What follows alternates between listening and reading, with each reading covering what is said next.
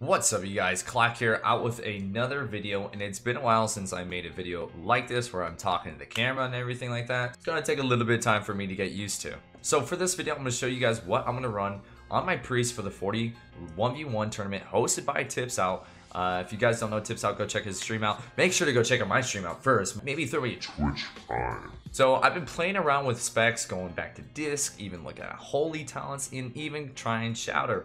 And what I found does best at 1v1 at 40 is shadow. For level 30, uh, probably the best spec was going to be Disc Priest. I lacked a little bit damage, but I had a lot of self-sustain. I was able to outlast a lot of classes.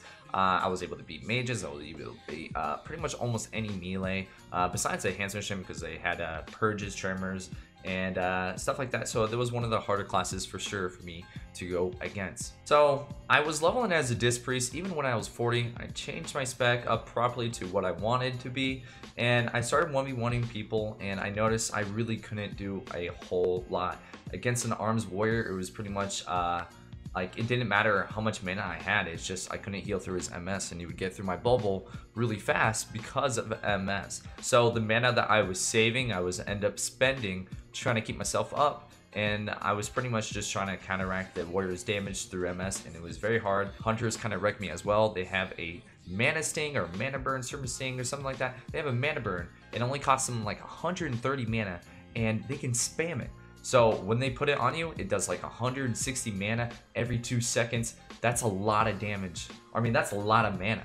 That's a lot of mana. Uh, he's draining out, and pretty much what they're gonna do is he's gonna run up to you, he's gonna scatter you, or probably trap you. I'm, I'm sure he wouldn't scatter you actually. He would run up to you and trap you, and then mana burn you. And within that time that you're trapped, probably about a thousand mana is going to be gone. 800 to 1000 mana is going to be gone. So when you face hunters, as a Shadow Priest in vanilla, it's definitely, you're definitely on a timer because they're going to be playing that game of trapping you. And then when they trap, when your mana is getting ticked, you know what they're going to do? They're either going to one, run a super, super, super far away, or they're going to start eating right in front of your face to be able to reset. Um, so again, I, I, I tend to struggle against a hunter very, very much warrior I seem to be able to wreck as a Shadow Priest they seem to can't even get through my bubble because my 15% damage reduction as Shadow form. So that's very nice. Mages haven't really get to face anyone.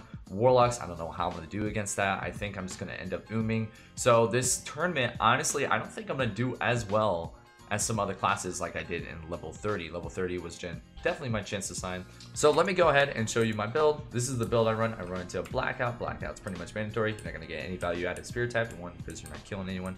Um, if there was mobs around us and we were able to do that, that'd be pretty neat. Even then, I don't know if that would even be viable to pull a mob when you're in 1v1. Who knows, it could be. When you're facing a hunter, it hit you out of trap.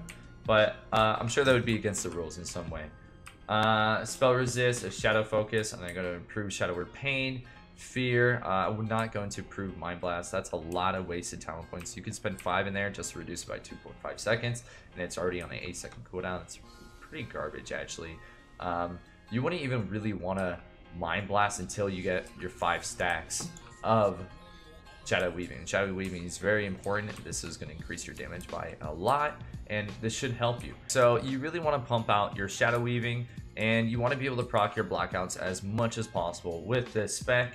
And basically, the way to do that, if you're facing a melee, you can practically spam touch of weakness. One, it'll put a low dot on them, so it might have a chance to be able to proc your blackout, which is huge. And second, it'll reduce their damage by 11. So it's huge. So you're going to be spamming this to try to get lucky to get the blackout stun. That's mainly the main big thing here. Um, on top of that, you're going to be putting your Shadow Word Pain. You might be Mind Flaying to keep them away from you or slow them. Uh, it takes a decent amount of mana, so when you do Mind Flay, you want to make sure you do have Power Word Shield on yourself so that that way they don't interrupt your cast of Mind Flay by just simply hitting you. Because if I Mind Flay something, if I get hit, it'll pretty much just like cancel the cast. Hit me. See that? So that was like almost a wasted 100 mana because I didn't get the full duration out of that. So if I bubble myself and then go for a Mind Flay, it's it's a lot better. So you get the full Mind Flay. Again, I wouldn't recommend doing that uh, any other time because you're just going to be ooming yourself as really, really, really fast. If anything, you probably try to get away from the melee, but they're probably going to be soloing you, so you might have to wand them. Um, if you don't think the wand is worth, then you could do Mind Flay, but then, again, keep in mind your mana. You don't have unlimited mana pool.